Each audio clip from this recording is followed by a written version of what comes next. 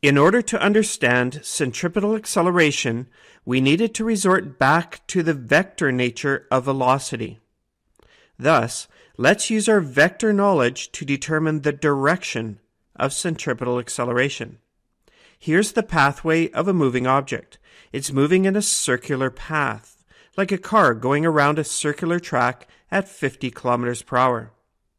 Let's pick a point on the track to determine what the car's velocity was at that exact point.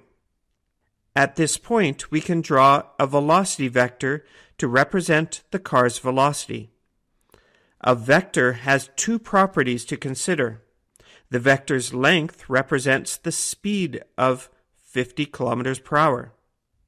The vector's direction is shown by the arrow pointing in the same direction that the car is aimed at this point on the track. Let's call this vector v naught, the original velocity. Let's pick another point along the track. Again, we can draw the vector representing the car's velocity at this exact point. Same length as the other vector, that is, the car still going 50 kilometers per hour, but in a different direction now. Let's call this one VF.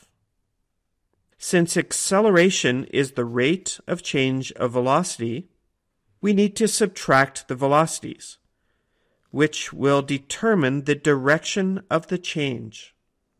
VF minus V naught. Recall that we can show a vector subtraction by switching the direction of V naught and changing our equation to VF plus the negative version of V naught. So, to determine the acceleration, we can simply add these two vectors and get our delta V. Notice that the resulting direction of the change in velocity or acceleration is directly towards the center of the circle. This is true of all centripetal acceleration. Centripetal acceleration involves an object moving around a circular path and centripetal acceleration is always directed towards the center of that circular path.